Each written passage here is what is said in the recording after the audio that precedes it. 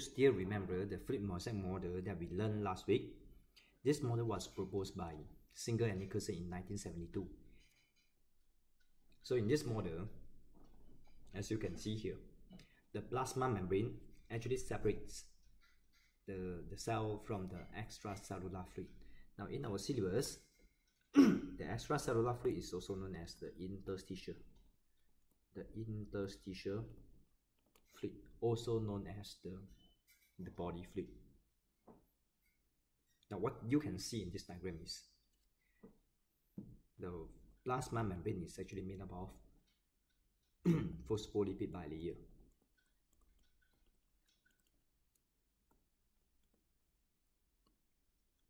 Because the head of the phospholipid molecule is hydro, is hydrophilic. The head loves water because the head is polar, while the tails are hydro, hydrophobic.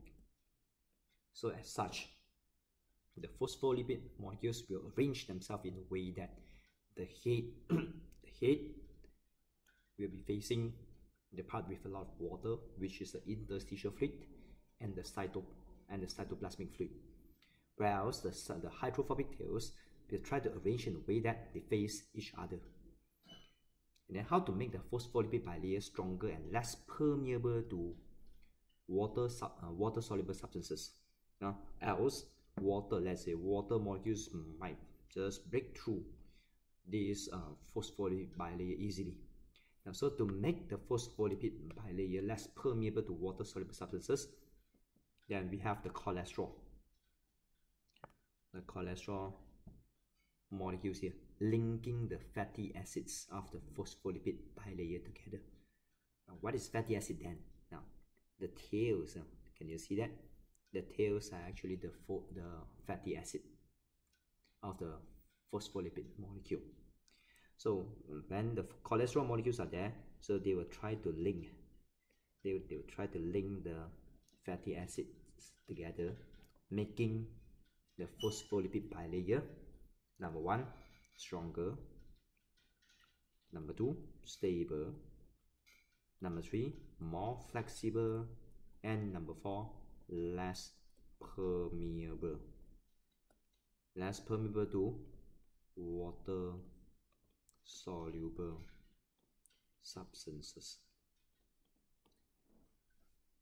Then in this diagram also we can see that there are actually a lot of protein molecules floating in the phospholipid bilayer what do we call this protein now there are various types of proteins as long as the proteins are involved in the transportation of substances across the plasma membrane, then we call this protein as transport proteins.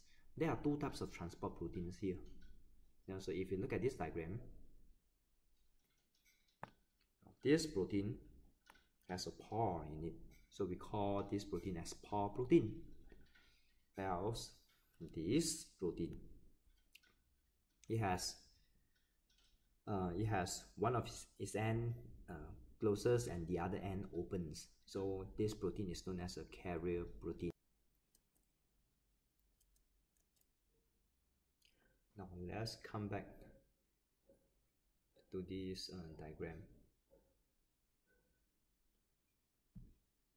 Inside this diagram, you'll be able to see some uh, carbohydrates attached to the phospholipid molecule or the protein. So if the carbohydrates is attached to lipid, then we call this structure as glycolipid. If the glycogen or the carbohydrates is attached to a protein, then you call this um, this structure as glycoprotein. Let's recall what we have just learned. Now describe the model 8 marks. Number one, the plasma membrane is dynamic with the protein and the phospholipid molecules free to move within the membrane. So um, in a fluid mosaic model, as suggested by the name itself, the plasma membrane is never static. It is very fluid. The phospholipid molecules are allowed to move laterally, sideways, and then the proteins floating in it is also they are also free to move about freely in the cytoplasm. Then number two, each phospholipid molecule consists of two parts. Okay, and there's a, a polar head and a non and a pair of non-polar tails.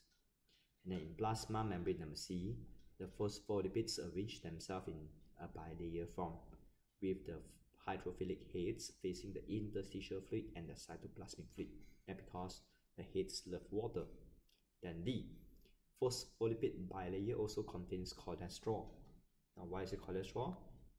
It is to make the plasma membrane more stable, stronger, flexible, and less permeable to water-soluble substances.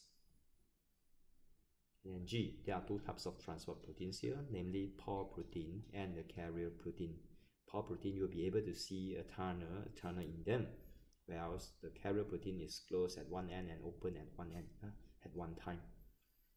And H, some membrane proteins that have carbohydrates attached to them are called glycoprotein. Now, after learning this, one uh, one question might strike uh, might strike us. What actually determines whether a molecule or a substance could move across the plasma membrane? Yeah, to, so to, to study this, we need to know that actually there are two factors influencing the ability of the substances or the molecules to go across the plasma membrane. So one is the size and the other one is the charge of the molecules. So of course, if, if the size is too big, the size, uh, the molecules couldn't diffuse across the, let's say the pore protein because the pore protein has a specific uh, size of pore.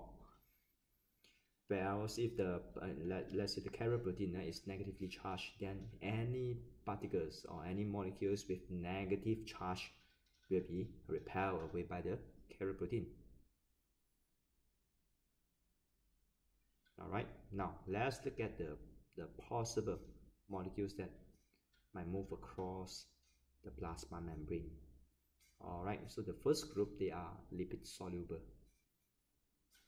Such as such as uh, glycerol fatty acids and vitamin A D K.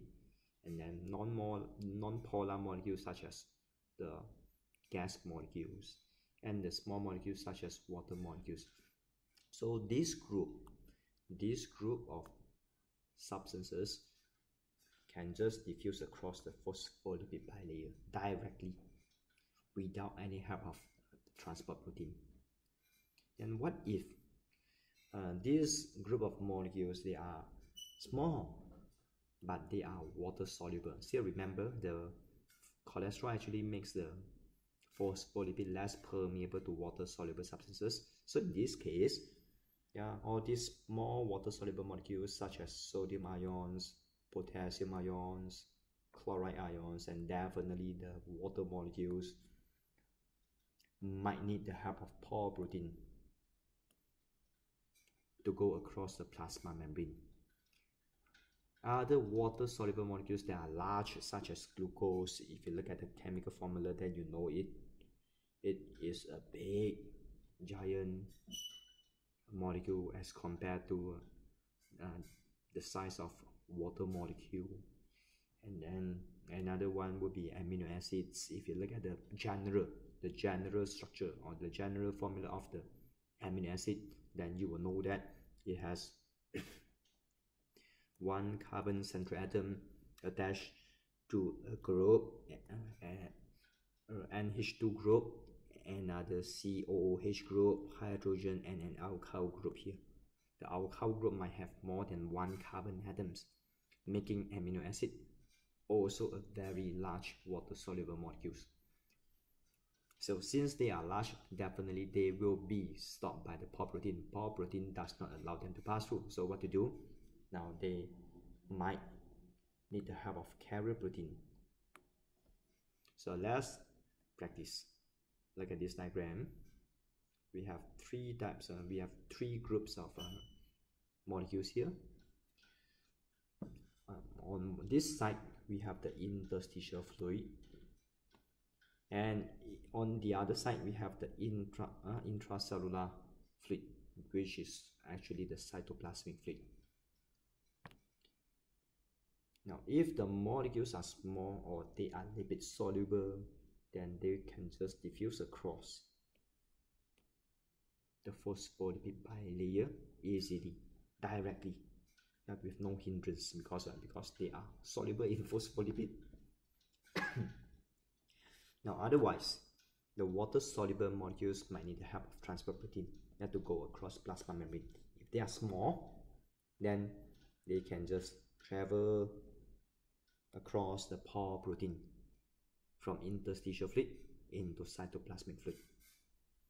If they are large water-soluble molecules, then they might need the help of carrier protein. So if you still remember these three, these three are actually the carrier protein at different stages. The glucose must first must first attach to the carrier protein, causing the carrier protein to change shape and faces another side. Then only the glucose or the amino acid can be brought into the cytoplasmic fluid. Alright. And then what about water? Now water is considered small and water is also uh, water soluble. So there are actually two pathways for water to travel into the cytoplasm. Almost 70% and more than 70% of the water actually diffuse into the cells with the help of uh, pore protein. While the rest can just diffuse across the plasma, uh, the phospholipid bilayer into the cell.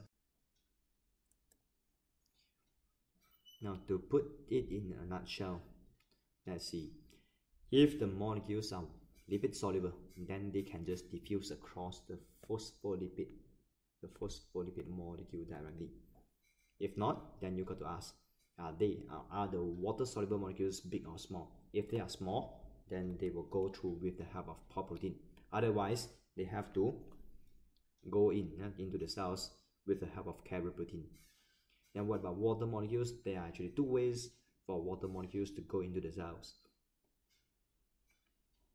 Almost uh, 70% of the water molecules diffuse with the help of pore protein. The other less than, uh, I would say less than 30% of water actually diffuse directly across the first phospholipid bilayer. Alright, so hope that you enjoy this class. Thank you. See you around.